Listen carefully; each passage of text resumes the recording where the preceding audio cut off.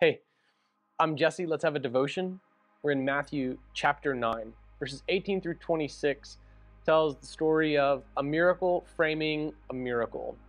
Yesterday we looked at particularly the miracle within the miracle, that is the woman who was healed of her internal bleeding.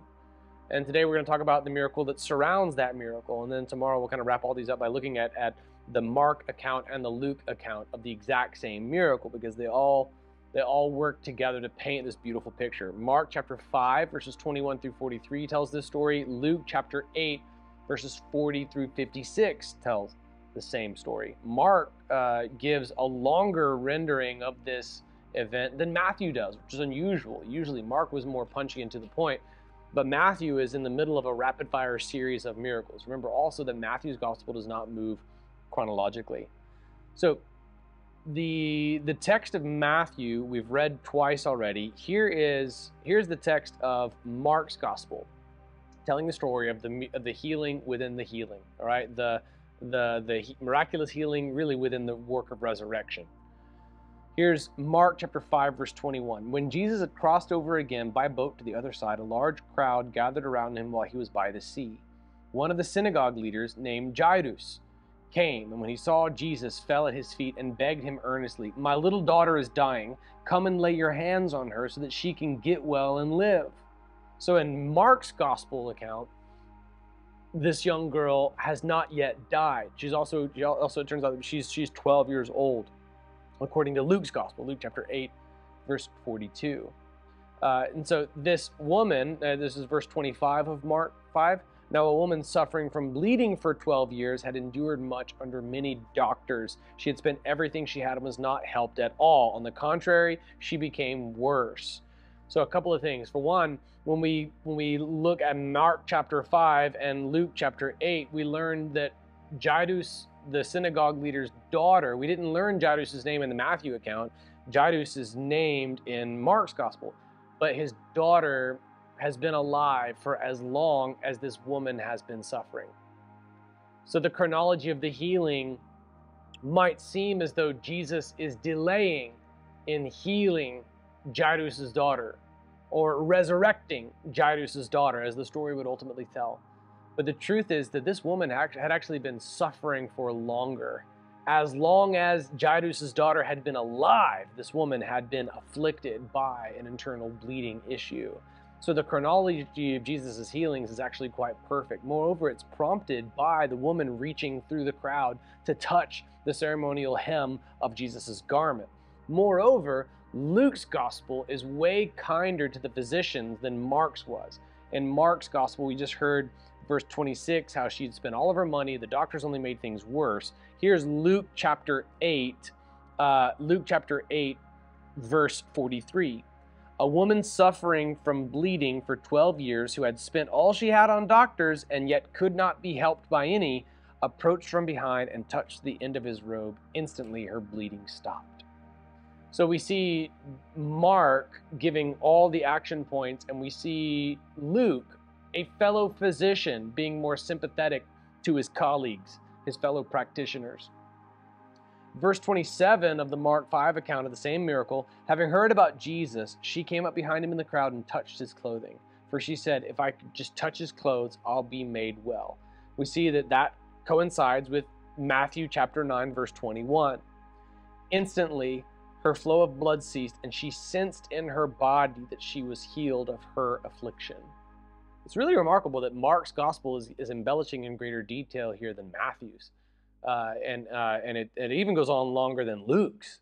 Luke was really the more verbose one. He was writing to a Roman audience of Theophilus.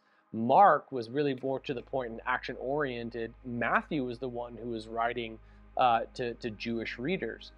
So it could be that this is this is happening in Gentile territory, and for that reason, there's less of a you know there's there's less of an emphasis on it. But even then, it's the story of Jairus, uh, the synagogue leader's daughter, who's being resurrected here this woman, for as long as Jairus' daughter has been alive, has been like uh, she's if she goes to the temple, she does so secretly because she was rendered ceremonially unclean by an affliction that was beyond her capacity to control. Moreover, the the action around the scene is is is uh, illustrated more clearly when we see Luke's account. So in verse 45 of Luke 8, who touched me? Jesus asked. When they all denied it, Peter said, Master, the crowds are hemming you in and pressed against you. Someone did touch me, said Jesus. I know that power has gone out from me. All right, that's Luke 8, verse 46. This is different as well from uh, the way that the uh, the way that Mark's Gospel's uh, account describes it. It says that he just sensed that the power had gone out from him. Right? Uh, he knew that power had, had had flowed from him, so he knew that he knew that someone had been healed. And so uh, Peter, ever the spokesman for the disciples, asked that question: Master, the crowds are hemming you in as, as, and press and pressing against you.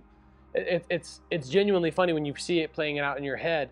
Uh, the synagogue leader has come to Jesus. He was just there answering a question asked by John the Baptist's disciples, and then now he's rushed with urgency to Jairus' house because upon the initial report, according to Mark and Luke, the little girl is dying. In Matthew's gospel, which is the much more succinct version, she's already dead, and he's asking for a resurrection.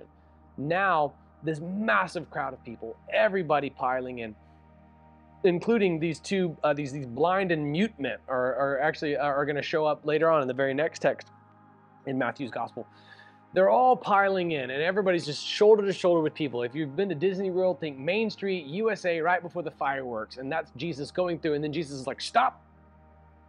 Somebody touched me. And you can see like Peter's confusion. All of us have. like everybody's touching everybody right now. I'm currently in contact with seven different people. I can feel it, and it's gross. And deodorant hasn't been invented yet. Why would you ask this? So Peter, ever the spokesman, asks this question. Master, the, how, the, the, the crowds are hemming you, hemming you in and pressing against you. Jesus insists because he knows he's the truth, right? Someone did touch me, said Jesus. I know that power has gone out from me. When the woman saw that she was discovered, this is Luke 8 47, she came trembling and fell down before him. In the presence of all the people, she declared the reason she had touched him and how she was instantly healed. Daughter, he said to her, your faith has saved you go in peace. So the Luke account of the same gospel, uh, of the same event, gives us even more precious verbiage. We saw yesterday in, Ma- in Matthew 9 22, have courage, daughter, your faith has saved you. And then the Luke 8 account, the same miracle, it also includes the words, go in peace. Go in peace indeed. She has encountered the living Jesus. It was probably petrifying for her to be called out publicly like this. But it's a beautiful testimony. Now, this brings us back to Jairus' daughter. Again, we don't know the name Jairus if we zoom in only on Matthew's gospel. Jairus is a name that is that is given to us uh, by the other gospel accounts. All right, and so, uh, and, and particularly Mark chapter 5. So listen to Luke's account now that we go to Jairus' house. This is Luke 8, verse 49. While he was still speaking, someone came from the synagogue leader's house and said, Your daughter is dead. Don't bother the teacher anymore. This deviates slightly from what we heard before. In Matthew's more succinct account, we're already we're already given away the ending. It's already spoiled. The, the ending is spoiled in, in Matthew's account because she's already she's described as dead before the whole thing begins, which means that the father's asking for resurrection. something I've asked God for. But in Luke's more detailed account, it's revealed that actually this 12 year old girl, uh, almost a woman, almost about, about to go through what would later be called a bat mitzvah, right? Her transition into adulthood. Uh, that she is dying. She is not yet. That she's not yet dead. But now, at this point, the two narratives overlap, and this guy's Jairus' friends are telling him, "Look, don't bother him anymore. She's already died." But then verse 50 changes things. When Jesus heard it, he answered him, "Don't be afraid. Only believe, and she will be saved." That's Luke 8:50. After he came to the house, he let no one enter with him except Peter, John, James, and the child's father and mother. Everyone was crying and mourning for her. But he said, Stop crying, because she is not dead, but asleep. They laughed at him because they knew she was dead. Now, who were, who were they, according to chapter, uh, verse 53? That would be Peter, John, James, and the child's father and mother. I doubt that the father laughed here. I doubt that the mother laughed here, but that could very well be Jesus' own disciples that laughed. Right? We don't get that detail in the more succinct account in Matthew. They laughed at him because they knew she, she was dead. So he took her by the hand and called out, Child, get up. In the Matthew 9 account, the words aren't, in, aren't, aren't included. Moreover, in Mark's account, the exact wording is given, Talitha Koum, which, which is translated, little girl, I say to you, get up. We'll look at Mark's account tomorrow, but for now, back to Luke's. Child, get up. That's Luke 8, verse 54. Her spirit returned, and she got up at once. Then he gave orders that she be given something to eat. This is, I, am telling you, man, I got a whole theology about food. Eating is a big deal to God. the first order of business when he, you know, resurrects with his disciples to prove to him that he's really alive is to eat a piece of broiled fish. When he reconciles with Peter on the beach, they, they do so over a meal. And when we're told to remember him, it's with a meal. And then when all of heaven is celebrated at the marriage supper, it's a meal. Right? And like it's all it's all about food, man. Food is a big deal to God, I'm telling you. And so he gives orders right away, give this girl something to eat. Verse 56, her parents were astounded, but he instructed them to tell no one what had happened. It's at this point in Jesus' ministry that the time had not yet come. The time had not yet come. It was not yet time for everybody to know um, about Jesus. The crucifixion would happen, but not yet. And so this is this is one of those moments when Jesus would tell them to be to be hush hush about it. Tomorrow we'll go through Mark's Gospel's account of the exact same exact same miracle. Uh, but for now, I want to zoom in further on the on the on the the greater embellishment of the story about Jairus and his daughter. Um, Jairus is the leader of the synagogue, and he's down at Jesus' feet. That's a huge deal. Uh, and if you look, if you go through the Matthew Gospel account, he's asking for a resurrection. If you go through the Mark and Luke accounts, he's asking for a miraculous healing, but he then goes on to receive a resurrection later on in the text. And there's this picture of salvation that we are all as good as dead. You might not think we're dead now because I'm talking to you and you're watching this video, but we're all dead in our sin. And then what Jesus speaks is so exquisite. Don't be afraid, only believe, and she will be saved. See the parallels between this miracle and salvation?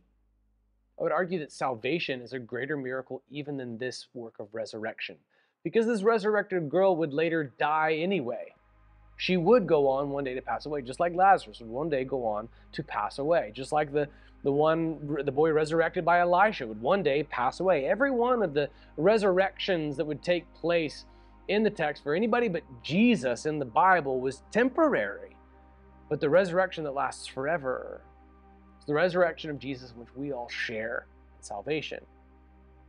And this resurrection, I believe, doesn't just give us an, a miraculous account of Jesus' lordship, but it paints a picture of what happens when we likewise are saved. He says to her, Talitha Koum, which means get up. Same words, get up, punctuate the miracles of the book of Acts crazy, telling people to get up. Jesus, when he heals the, the man, the, the paralytic lowered down on a mat, get up, pick up your mat, and walk. Get up. It's this picture uh, in those healings of our repentance. Our faith is completed by what we do, it's accompanied by action. We turn from our sin because we are saved. And if a faith has no action, no such deed accompanying it, it's a useless faith, it's a dead faith.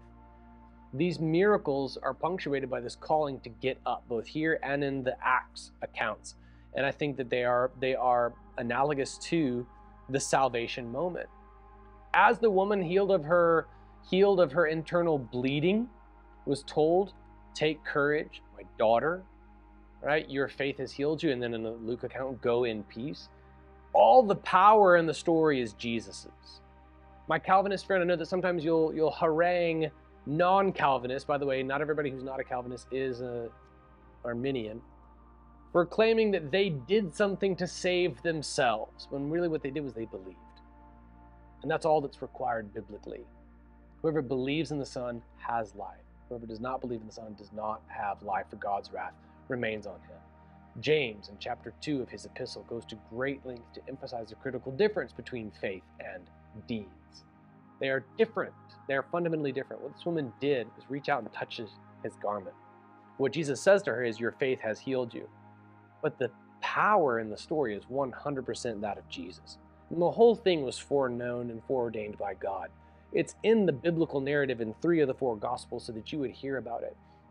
And not just so that you would say, oh, wow, that's nice, but so that you would be healed yourself, that you would believe that Jesus is Lord, that you likewise would believe and be saved. All right, that's uh, Luke chapter 8, verse 50. Believe and be saved. Don't be afraid, only believe, and she will be saved. Koum, get up, repent from sin, believe today. That is the greater miracle, and that is the purpose of these two miracles, now chronicled in three gospel accounts.